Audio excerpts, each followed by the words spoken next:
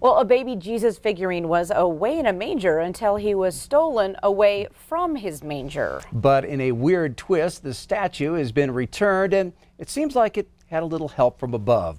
MTN's John Emeigh has more. When Andrea and Jack McCormick returned to their Butte home on New Year's Day after being gone a few days, they noticed the most important figure in their nativity was gone it was just sort of the thing you always feared had finally happened.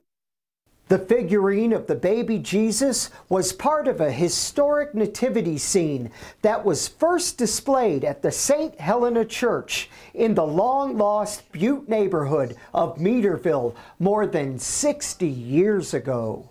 Oh, I was just crushed because I knew my uncle, who had originally owned the set, was always cautious about putting it out because they were always afraid that the figures might be taken.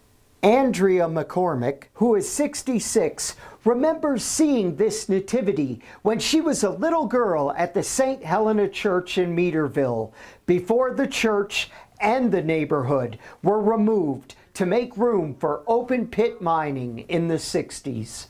And the priest would carry the baby into the church and place him in the crib at midnight mass. After making pleas on social and local media for the return of the baby, on Thursday morning, Jack McCormick went out to his mailbox and found a surprise laying in the snow. He came in with a big grin on his face, saying, Guess what I found?